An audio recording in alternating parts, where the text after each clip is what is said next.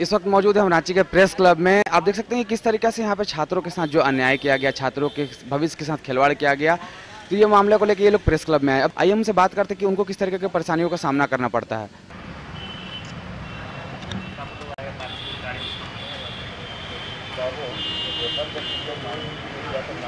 मेरा नाम मोहम्मद फैजियाब है। मैं साइन कॉलेज का स्टूडेंट हूँ। मैं बूटी मोड़ में रहता हूँ।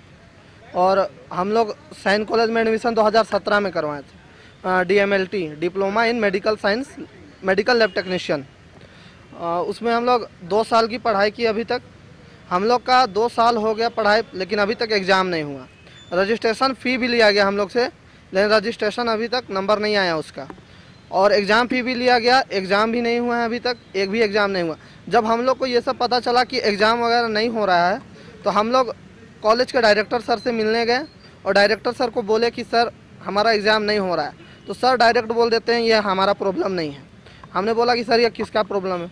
बोले, सर, कि ये काउंसिल का प्रॉब्लम है। काउंसिल एग्ज़ाम नहीं लेगा तो हम क्या कर सकते हैं? हमारा दो साल बर्बाद हो चुका है। हम हम उसको भूल के सर को बोले कि, सर, हम लोग आगे की पढ़ाई करना चाहते हैं। इंटरमीडिएट करेंगे, सर। हम लोग को टेंथ बेसिस से एडमिशन लिया गया था वहाँ, पारामेडिकल में। तो हम लोग बोले, सर हम लोग को अपना जो डॉक्यूमेंट है सर जमा यहाँ, वो दे दीजिए। हम लोग इंटरमीडिएट करेंगे और फिर आगे की पढ़ाई करेंगे। तो सर, उसमें भी नामंजूर है। बोलते अगर तुमको डॉक्यूमेंट चाहिए तो तुमको जो फ़र्स्ट ईयर का फ़ी है, उसको क्लियर करना होगा। स्कॉलरशिप आता है, उसमें से दो हज़ार देना होगा, जो कि नौ हज़ार आता है हम लोग का। और सर, मैदानता में हम लोग डेढ़ माह मतलब कि डेढ़ मंथ का ट्रेनिंग किए थे। उसमें से भी पाँच हज़ार लिया जा रहा है। तो यही सब बोले कि पूरा क्लियर करोगे, उसके बाद ही डॉक्यूमेंट्स मिलेगा, नहीं तो फिर जब्त कर लिया जाएगा कॉलेज में। अभी हम तीस हज़ार जमा कर चुके हैं। हाँ। हम लोग टोटल टोटल पंद्रह बीस हैं अभी। एडमिशन कराया गया था उस समय सिर्फ़ बोला गया था कि आपका आ, जैसे ईयरली फ़ी वहाँ लेता है। फ़र्स्ट ईयर में fifty one thousand seven hundred rupees लिया जाता है। उसमें से ये नहीं बोला गया था कि आपका स्कॉलरशिप का पैसा काटा जाएगा। ये नहीं बोला गया था कि आपका अलग से ट्रेनिंग का फ़ी लिया जाएगा। और हम लोग का स्कॉलरशिप भरने के लिए ढाई सौ का बोनाफाइड भी दिया गया। ढाई सौ लिया गया बोनाफाइड दिए उसका ढाई सौ भी लिया गया। इन बच्चों का जो मामला है वो चीटिंग का मामला है।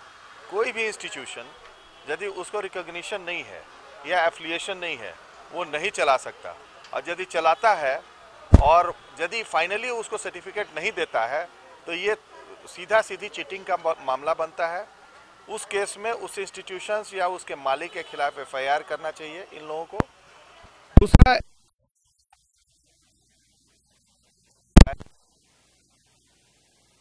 हमारे हिसाब से यदि ये लोग आते हैं एफआईआर करके तो उसमें हम इंक्वायरी करवा देंगे इन्वेस्टिगेशन करा देंगे और जनहित याचिका दायर करके और अन्य भी तरीके से भी सरकार को हम लोग लिखेंगे अपने जो जन जनसभा है उसके माध्यम से कि इस तरह के बच्चों का और अन्य बच्चों का एक्सप्लाटेशन नहीं हो इन लोगों का तो हुआ ही है। क्या हुआ एडमिशन लेने के बाद हम लोग को ये दिक्कत मतलब कि दो साल तक हम लोग का तो एक तो अच्छे से पढ़ाई मतलब हुआ। उसके बाद फिर जब एग्ज़ाम नहीं होने लगा तो फिर हम लोगों ने डायरेक्टर सर के पास जाके दरख्वास्त की कि सर हम लोग का एग्ज़ाम अभी तक क्यों नहीं हुआ? तो डायरेक्टर सर का कहना है कि, ये मेरी प्रॉब्लम नहीं है। तो हम लोगों ने बोला सर से कि सर ये अगर, ये आपकी प्रॉब्लम नहीं है तो फिर किसकी प्रॉब्लम है? तो सर ने बोला कि ये काउंसलिंग की प्रॉब्लम और काउंसलिंग से पता करने पता करने के बाद पता चला है कि ये काउंसलिंग जो टेंथ लेवल से जो एडमिशन लिया जाता था वो दो हज़ार अठारह में ही बंद हो चुका था। तो हम लोग को एक साल डार्क लिस्ट में रखा गया है। उसके बाद फिर सेकंड में आती है कि हम लोग का जो ट्रेनिंग वो मैदानता में हम लोग का ट्रेनिंग हर हमारे जो सीनियर थे वो लोगों को भी तीन महीने का ट्रेनिंग दिया जाता था तब पाँच हज़ार रुपये ले जाता था।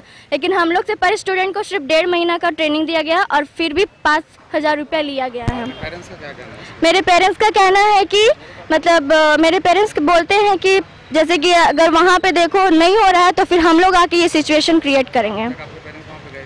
अभी तक पेरेंट्स तो हम लोग के वहाँ नहीं गए क्योंकि पेरेंट्स मतलब बहुत काम रहने के बावजूद हमारे पेरेंट्स नहीं आ पाए हैं। जैसा कि आपने देखा विजुअल में छात्रों के भविष्य के साथ काफ़ी खिलवाड़ किया जा रहा है रांची जैसे शहर में। रांची की सरकार अभी तक चुप्पी साधे हुई है इस वक्त। यहाँ के कॉलेज का डायरेक्टर का मानना है कि अगर तुमने अगर तुम्हें अपनी डिग्री वापस लेना है तो तुमको पैसा देना पड़ेगा। छात्रों की अलग अलग समस्याओं को लेकर छात्र प्रेस क्लब पहुँच चुके हैं और इनका सबसे बड़ा समस्या है, इनको एग्ज़ाम देने का मौका नहीं दिया गया। दो साल पढ़ाई के पूरे हो चुके हैं।